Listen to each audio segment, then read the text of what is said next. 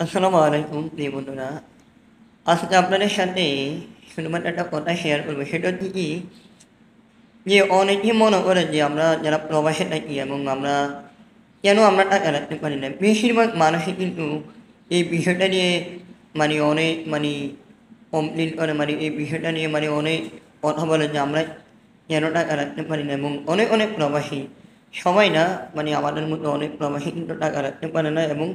কি কারণে টাকা রাখতে পারি না আজকে সেই বিষয় নিয়ে আজকে আমি আপনাদের সাথে কথা বলব এবং আশা করি পুরো ভিডিও পুরো ভিডিও শুনবেন প্রথম হচ্ছে ফ্যামিলি এবং পরিবার এবং আত্মীয় স্বজন পাড়াপড়শি হ্যাঁ এখন বলতে পারেন যে পাড়াপড়শি কি আমাদের টাকা নিয়ে যায় না একজন প্রবাসী সে যদি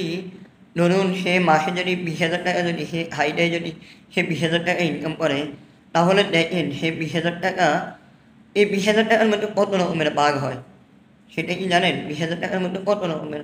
বাঘ হয়? এবং সে বিশ হাজার টাকার মধ্যে কত টাকা বাঘ হয়? এবং দেখা যাচ্ছে এক মিনে এক মিনে মা বাবাকে দেওয়া লাগে, এক মিনে পরিবারকে দেওয়া লাগে, এক মিনে দেখা যাচ্ছে এক মিনে পরিবারকে দেওয়া লাগে, এক মিনে মা বাবাকে দেওয়া লাগে। তাহলে হিসাব করেন, বিশ হাজার টাকার মধ্যে যদি আপনি যদি পনেরো হাজার টাকা যদি খরচ হয়ে যায়, তাহলে আর পাঁচ হাজার। এই পাঁচ হাজার দেখা যাচ্ছে এবং এবং পাড়া কষে তোমার আরও মেয়ের বিয়ে লাগছে তোমার আরও সমস্যা হয়েছে দেখা যাচ্ছে ভাই আমাকে কিছু টাকা সহযোগিতা করেন এভাবে নিয়ে নিছে তো এবার হিসাব করেন এইভাবে যদি সে যদি পাঁচ বছর যদি ইনকাম করে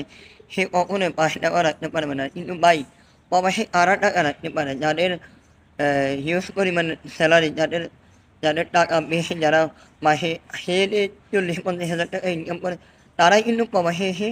টাকা ইনকাম করতে পারে। এবং আমাদের মতো যারা ছোটো খাটো স্যালারি, বিশ হাজার বলেন, পঁচিশ হাজার বলেন, তারা কিন্তু কিছুই করতে পারে না। দিন শেষে তারা কিন্তু তারা কিন্তু শূন্য হাতে কিন্তু কি? হ্যাঁ তো দেখা যাচ্ছে একটা মানুষ প্রবাসী কিন্তু বিভিন্ন রকমের কিন্তু মানুষ কিন্তু থাকে।